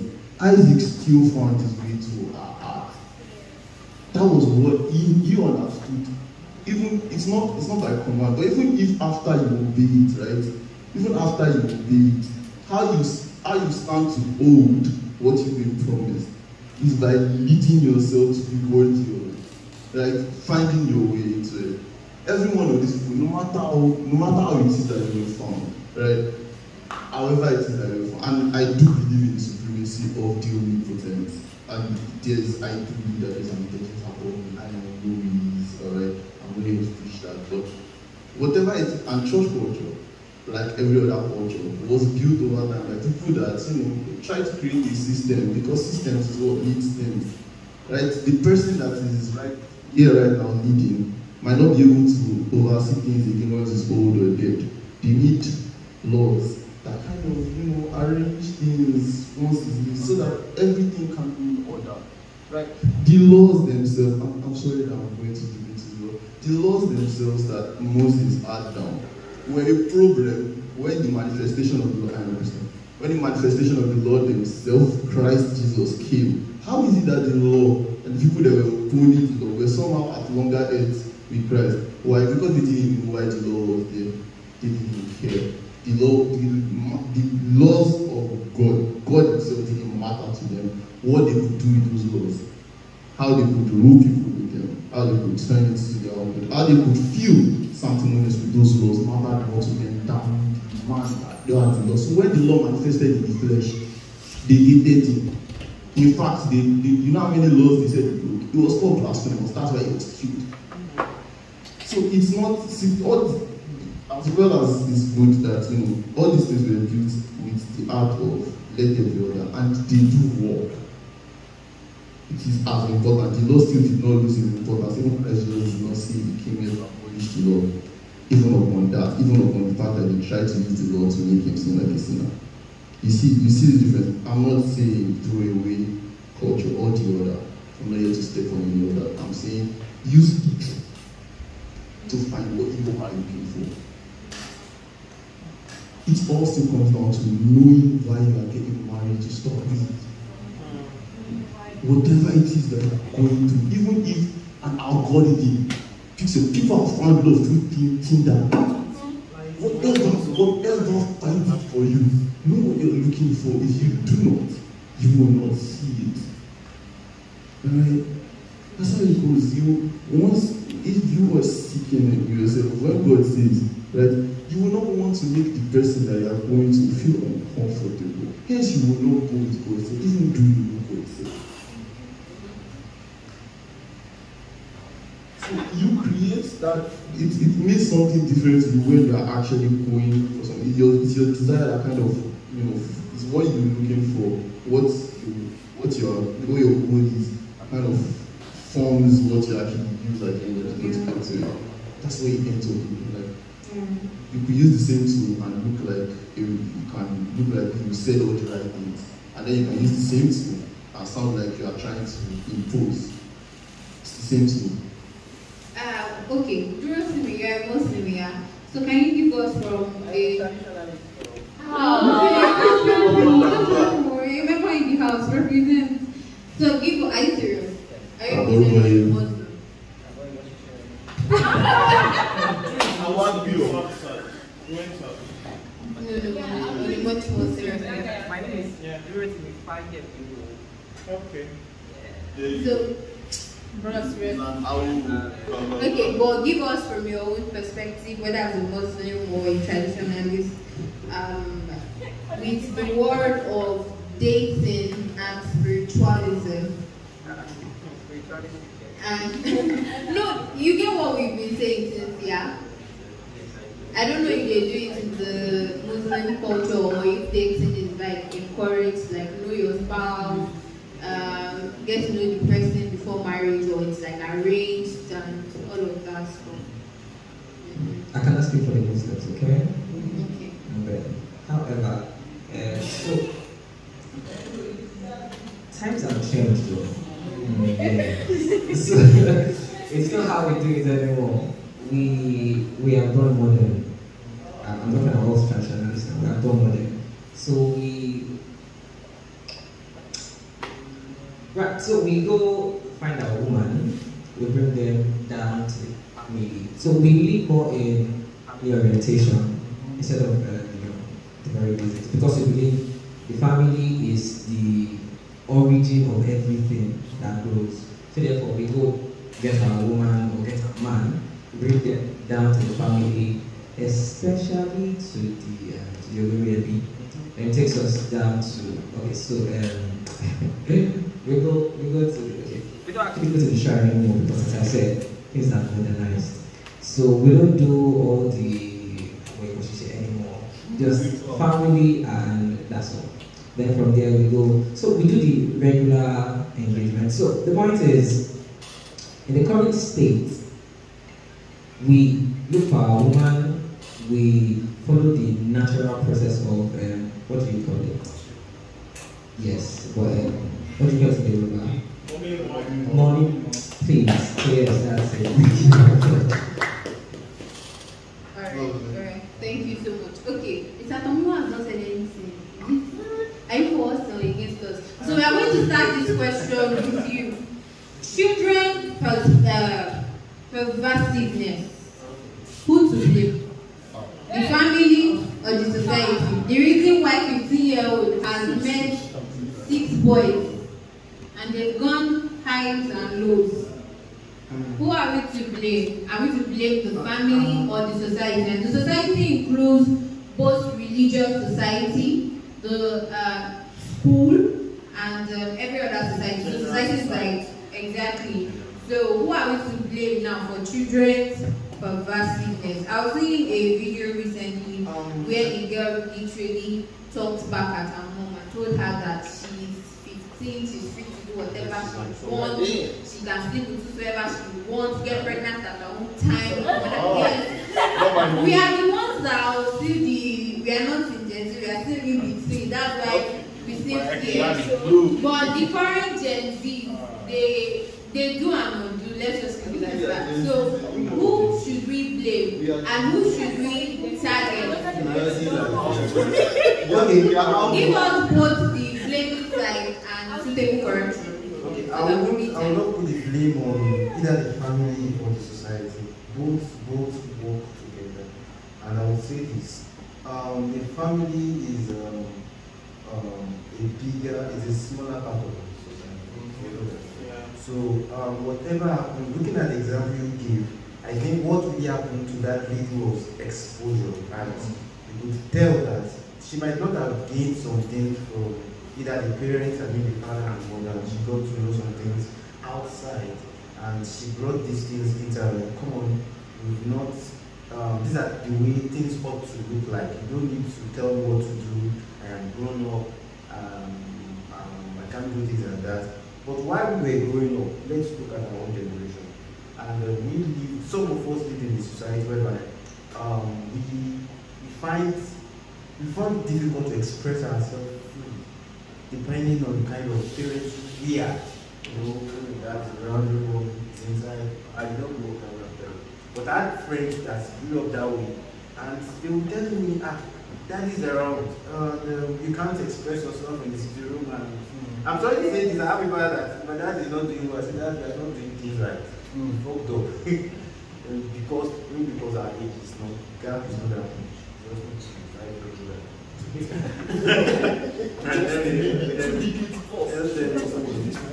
do not know that, you can look at it this way.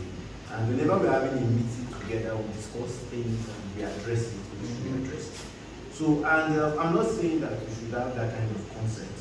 Um, uh, that's why I should not blame the family, we should not blame the society.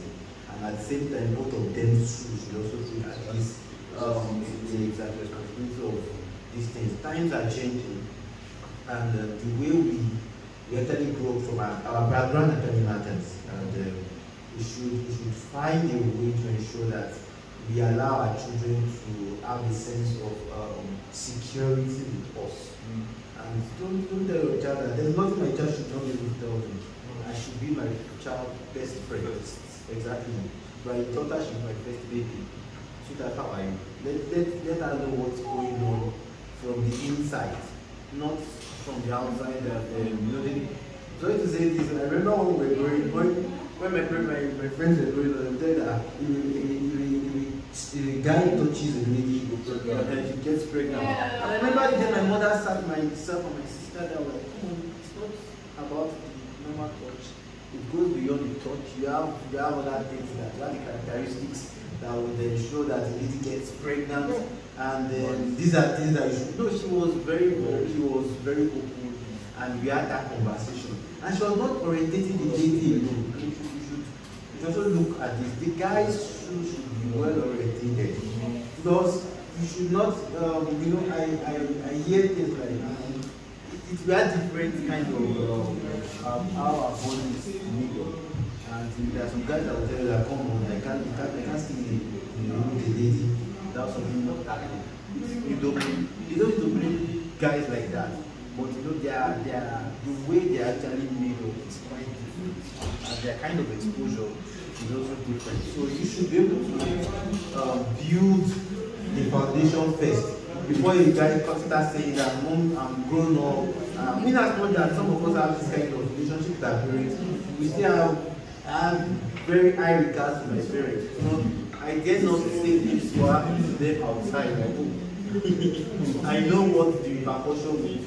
At the same time, you should not suppress their their feelings, don't suppress their expression. Now, even if it is stupid, even if it's making a suggestion that is not making sense, make sense out of it. Wow, I like what you said. Because the, the guy starts building from there. Okay, I think okay, this way confidence starts. Then you start talking, you build it up, and things um, work up from that. So, as I said, um, the family should not take the full responsibility. However, the family has a very big responsibility to actually to make to ensure that uh, things work out well in society. The society is, is uh, decaying because we meet a lot of people from different backgrounds. Come on, this, I tell you, I do, I just said this out our family. I don't know what to do in family. And there is this what is called influence. Uh, you don't, you don't, the family is not the sole responsible so uh, contributor to the growth of a child. In fact, we all have a different dynamics, different body, the way we are built up. The family is just takes a little percentage. So the society has its own percentage. The person itself has his own personality. That's what makes up a man. That's why you see that, oh, the character that is in this guy is actually not in his father. They must have gotten the character somewhere. Have gotten his build up somewhere. So it means you must, you must start to address issues like this from the onset, from the cradle. Okay, let's start talking. Let's go out on the. Don't the first date your daughter should have not be the, first with the guy. So go with your guy. Your, I want to have a, I want to have a date with my daughter. I want us to go out. I want us to chill. So that's what we discuss. So the girl like, ah, there's guy in the school that is disturbing me. You won't tell the girl, your daughter that I don't go with this girl. No, you good friends. But tell, tell, let her know the do's and don'ts. Come on. There is there is a limit to your friendship. There are some things that you should not do. And so that when things get to that stage, you start telling you things like, oh, these are the things that are going on. I think it's not, the scolding should not come as first. I'm not saying should not scold, but the scolding should not be the first thing. That, oh, I don't, I don't like the way you're actually behaving. So you should be able, before the child goes to the fact that, you cannot longer, no longer train. You must have started somewhere. So the, dog, the lady telling the mom that, saying that I'm, I'm 15 years old, I can do what I can do, I can do whatever I like. Means the relationship between the girl and the family is, um, there's a gap. So that gap needs to be filled um, for them to have, to, for them to be on the same page. And you also look at the, the parents. there might be some similarities and come on, you don't, you don't have, you don't have the right to tell me this because you also, what you do is even worse than what you are telling me.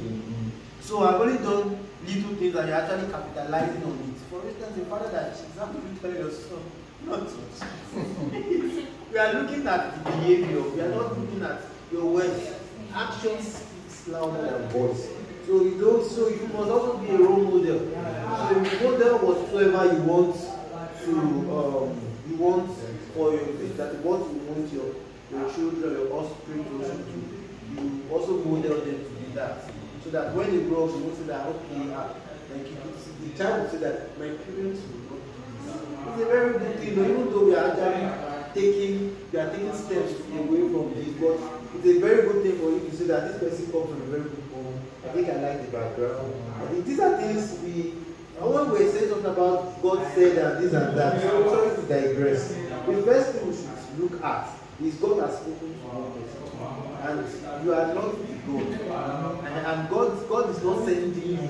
When you say God showed you, God is saying that, okay, go to that person and express yourself the way you should express. And it's not a bad thing for a lady to say no. Even the scripture says the Spirit of God can appear to all men, teaching us to say no. If, they, if you don't see the qualities you like in the guy, it's, it's a normal thing. In fact, in fact, what what made what made Adam love Eve was the fact that he saw this said, "Wow!" The concept of woman comes from the word "wow," man. Yeah, like woman, like you. So you must know like this person looks like me. This person is me. So before you now say that, "Oh, God said I like you," I am interested in you, it's not.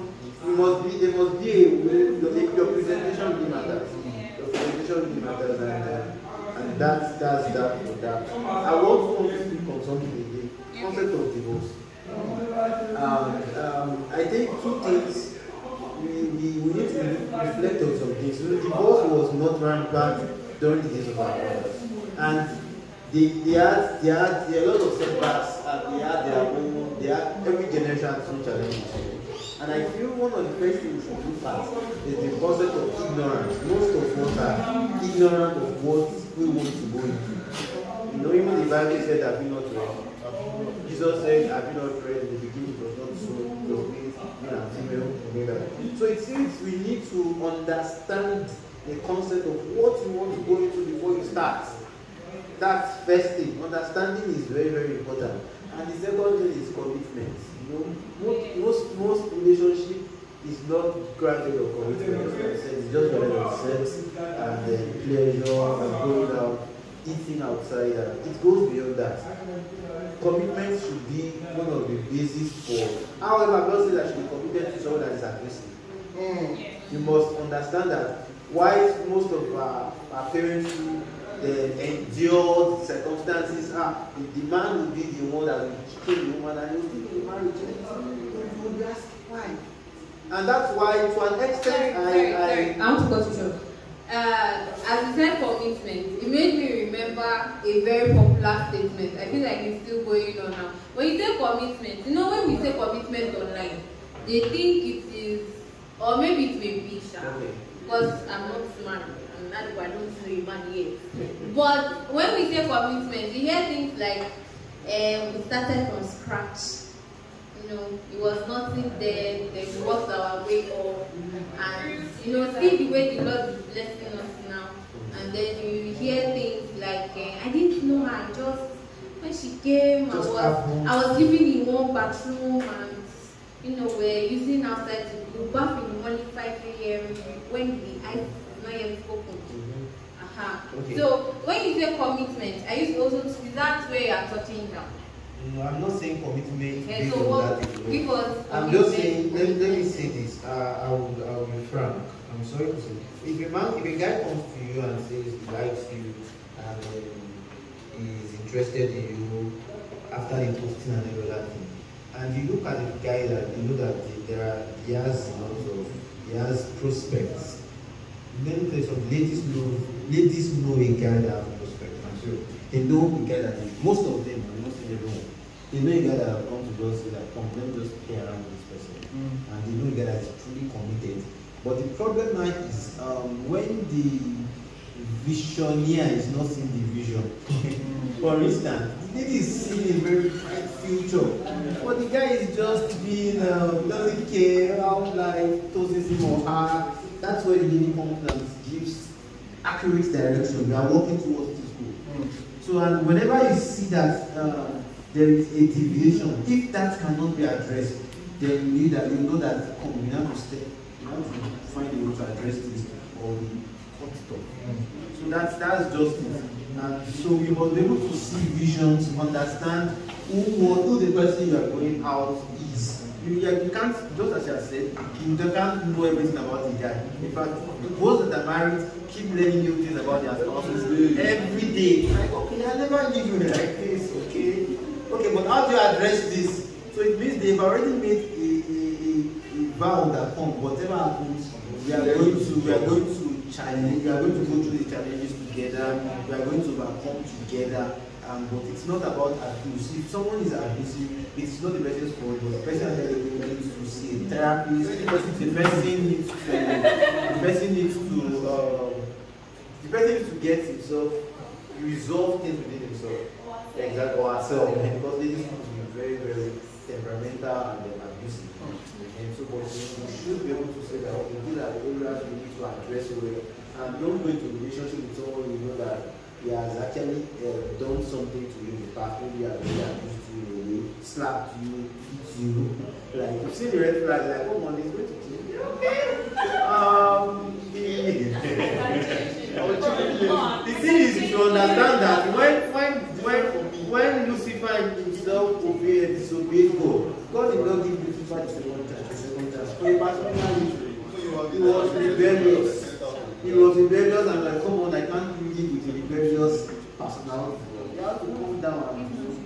So you must, I'm not saying that um, you should not give some people chances, but you should, you should create a boundary, then you know the kind of thing you want to go into, and be sure that this person is totally healed before you, Yes. before you put yourself into that, um, that circumstances. And um, you know, another thing is, uh, we've, we've evolved from for better for worse. It's very important. All this for better, for good, for better, for best, right? These are things that is actually crumbling marriages. You love the guy when he has money, and when the guy has no money, like come on, love don't finish. I can't, I can't go back to square one. I can't, I can't exactly, I can't go back to square one. And I feel that's why most guys too is they are finding it difficult to get married. Because you, why not just date and have sex and leave the girl, let the girl go until I'm ready. I'm sure that I want to actually engage myself in this, and I'm ready to, to go into a relationship. So they feel get and the more they they do that, they tend not to get married because they feel they've gotten everything they have the friends, they have the sex, they have the most of them they may not even have the the, the, the money to talk about. They are they feel they feel satisfied. Exactly, they, they feel satisfied and they don't see any reason to go beyond what they are doing. I think that that's regarding regarding what I have to say. I don't that. Thank you very much. Okay, so let's give the mic to Durosini. We don't want to dwell on that. I have a very special question for you. I think you wanted to answer on the children thing. Okay, we'll answer children thing. Please make it very brief. We have limited time. So what I wanted to say is concerning the pervasiveness of children, I feel like family has it's not it's not easy to blame it on one particular group because raising a child is not a one man job, it's not a two person job, it's not even a four person job. It's the entire society that comes together shaping who the person is supposed to be. So but the bulk of the responsibility falls on the parents in the sense that the shock value that is in all those things that corrupt the child, I feel like it's on the part of the parents to reduce the shock value of these things. Because in the area of sex or drugs or morals, like those things that children see outside that excites them, that, that piques their curiosity, that they want to know more about like what is this thing about? And parents never told us or something like that. So they want to delve into that thing completely. Just like um, let's just say it's children that their parents will allow them to come out. The day they step out, they won't want to go back inside the house. They will explore to the explorers. They will become Dora the Explorer. They will want to go everywhere. They want to see everything. They want to know. So I feel like it's on the part of the parents to expose them gradually to that kind of thing. It reminds me of one man, a man in America. The man became immune to snake venom. Why? Because he was taking it in small concentrated doses. You take one milligram today, another two weeks, he takes two milligram, another three weeks, he takes three milligram. To the extent that the man became immune to uh, black mamba's venom. The snake gave him two bites and the man was fine because he has been taking all these things. He has that immunity already. So I feel like it's on the part of the parents to build the immunity of children. It's not that they won't get exposed to it, but it's not going to affect them negatively. So. So, Dorothy, Dorothy, me. Oh, yeah, yeah. Okay, so I want you to tell us, everybody has spoken well, I want to talk about broken women and insecurity. Yes. No, now, men, men answer better for women on this issue. So, how do you, would you advise someone you are assuming is broken in a certain way? You know that when someone is broken, they have a certain mentality in a in a certain area. They just have this mindset. For instance, they can have the mindset that uh, I have to work. They get so they don't want to chase career because of the fear of failure. Some it might be in the aspect of not working and you know going after men instead. I mean, we all saw what happened on uh, Honest. So, how would you advise women to heal from insecurity? They may be broken, but how do they heal? I, I you didn't finish the book, but you definitely read the insecurities of Bolanle. Because of her insecurity, she literally married Baba Segi. She could have healed and gone for something better. So how do you advise people? Alright, so that question is wild. Hmm? Question is wild. How do you advise somebody to heal from insecurity? Legal insecurities, you know. but they, so looking at it carefully, see, insecurity is, is pretty interesting because it reshapes it reshapes you entirely. You you you ah, okay, so let me use myself as an example. Uh, when every time I go into a relationship, I it becomes an obsession for me. I am obsessed with this person. I so the very minute I do not get the very minute is not reciprocal, I I withdraw, and the withdrawal could lead to me pulling away, pata pata, and you know trying to just not wanting to have anything to do with this person. So the question is, how do I get better? Oh no. Hmm. I can answer that question. I'm so sorry. Okay, come on. Okay, Ini. Yes, with. Alright, so question of insecurity. Like you said, I'm answering for someone else because like if I get introspective. It's not really like you're answering for someone else. No, yeah. Assuming you have a friend who's uh, answer- insecure. Yeah, that's the question. I'm answering for me. You answer for Yeah, if I was to answer for my insecurity, I would stop like indeed. Introspection is hard to do, especially in front of people. I cannot go indoors and start looking more insecurities right now. No, I'm, You know, I'm saying I just started like that. Now, based on how our advice start and your experiences, how do how do affect one? Like you said, they form you. I've seen insecurities change people's physique. You legit change your whole posture and get scoliosis just because of the thought that gets stuck in your head. You have defects based on that insecurity. Your whole posture, your whole, your body literally obeys that already head. So how to handle that? It's first of all accepting that you are normal.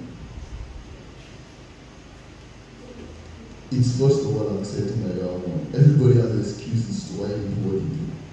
Until you accept that something you are doing, though might not be bad. This is one I listen to an artist, NF, and he's very big about how it fares and is you know uh, trying to always he has OCD, always trying to uh, detail put some things to else trauma from the past to catch up with him has led him to where he is now. Basically, he sings about that thing and he became a platinum record holder because of that fear and anger. Things, traumatic things that he holds on to that basically built his career. He has to answer the question honestly is he willing to heal from that and might let go of what it has grown. Some people's insecurities have helped them grow a better career.